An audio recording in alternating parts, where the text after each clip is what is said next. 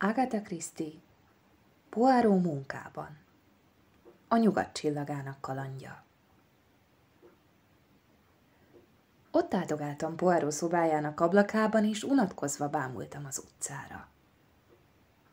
Felettébb különös, fogadtam ki végül meglepetten. Mi olyan különös, Monami?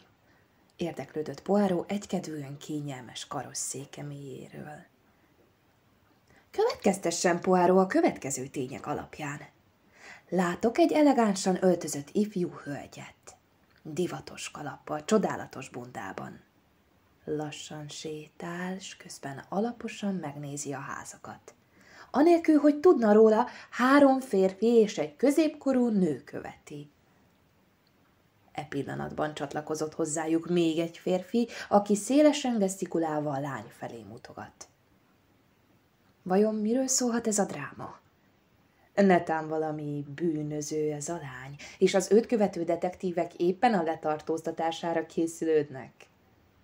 Vagy éppen ők a gazemberek, és egy ártatlan áldozat megtámadását tervezik. Mi erről a mesterdetektív véleménye?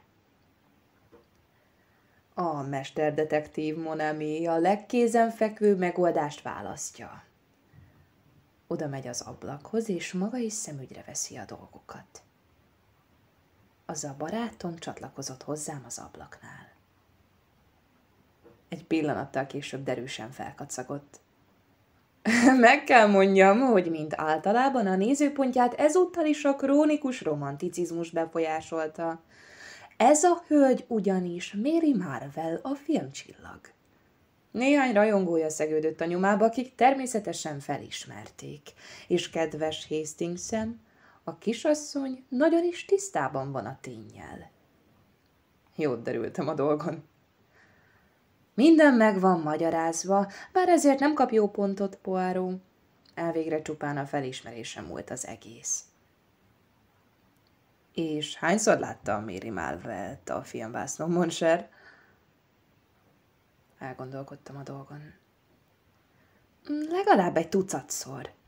Én pedig Mindössze egyszer. Mégis én ismertem fel, nem maga. Így olyan másnak látszik, válaszoltam kisé elbizonytalanodva. Ah, szakré! kiáltott fel Poirot. Netán azt várná tőle, hogy kábolykalappal mezít lapparádézon London utcáin göndörfürtökkel, mint valami ír farmer lány. Maga mindig a lényegtelen részletekre figyel. Emlékezzen csak Valerie Sinclair táncosnő esetére. Enyhe méltatlankodással vontam vállat. De ne vegye szívére, Monami, békítgetett a barátom. Jól tudom, hogy nem lehet mindenki Erkül Poáró. Széles ismerettségi körömből magának van a legjobb véleménye önmagáról. Fakadtam ki félig csodálkozva, félig dühösen. Miért? Mit vár tulajdonképpen? Ha valaki páratlan, azzal saját magának is tisztában kell lennie.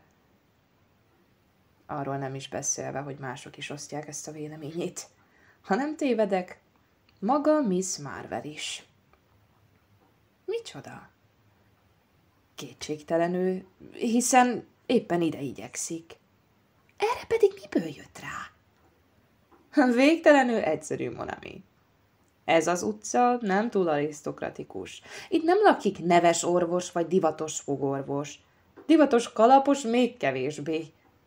Lakik itt viszont egy divatos detektív. Új, barátom, ez az igazság. Híres és divatos lettem.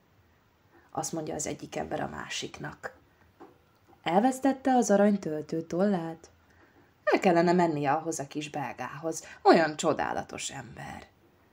Mindenki hozzáfordul. És jönnek.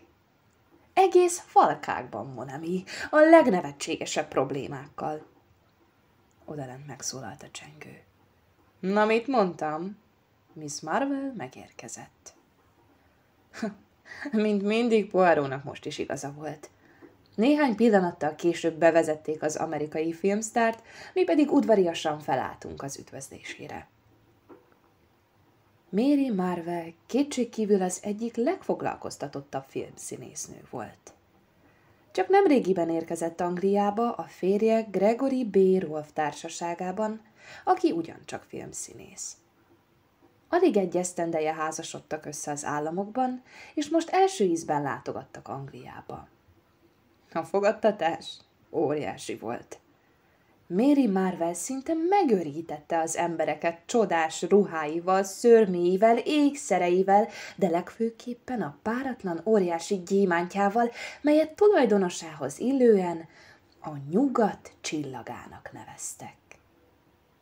Rengeteg igazságot és még több valótlanságot firkáltak már össze erről a híres égkörről, melyet a híresztelések szerint óriási summára 50 ezer fontra biztosítottak. Ezek a gondolatok sorjáztak végig az agyamban egymást kergetve, miközben csatlakoztam Poiróhoz, hogy köszöntsük a neves vendéget. Miss Marvel apró termetű és karcsú volt. Nagyon szép, lányos alakú, egy gyermek ártatlan, tágra nyílt szemével.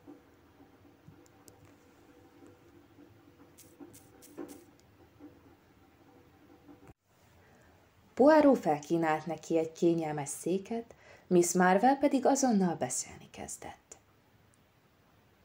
Bizonyára bolondosnak tartanak, Monsieur Poirot, de Lord Cronshaw a múlt este elújságolta, milyen csodálatosan tisztázta az unokaöccse titokzatos halálát, és úgy éreztem, hogy nekem is szükségem van a tanácsára. Eleve kijelentem, hogy csak is bolondos mendemondáról van szó. Gregory is azt mondja, de engem mégis halára idegesít. Elhallgatott, hogy vegyem egy mély lélegzetet, miközben Poirot biztatóan mosolygott rá. Folytassa csak, madam. Ugye megérti, hogy az a legjobb, ha a lehető legtisztábban látok. Itt vannak ezek a levelek. Miss Marvel kinyitotta a kézitáskáját, kivett belőle három borítékot, és átadta Poirónak. A detektív alaposan szemügyre vette őket. Mocsó papír. Gondosan nyomtatott név és címzés. Nézzük csak, mi van benne. Kihúzott a borítékból egy papírlapot. Oda léptem a barátom mögé, és a válla fölött áthajolva elolvastam. Az egyetlen üzen, az üzenet egyetlen mondatból állt. Ugyanolyan gondosan nyomtatva, akár a boríték címzése, így szólt. Az óriási gyémántnak, mely Isten bal szeme, vissza kell kerülnie oda, ahonnan származik. A második levél lényegében ugyanezt tartalmazta, de sokkal nyíltabban. Nem engedelmeskedett a figyelmeztetésünknek. A gyémántot tehát elvesszük magától. Hol, tört, holt töltekor a két gyémánt Isten jobb és bal szeme visszatér, így van megírva.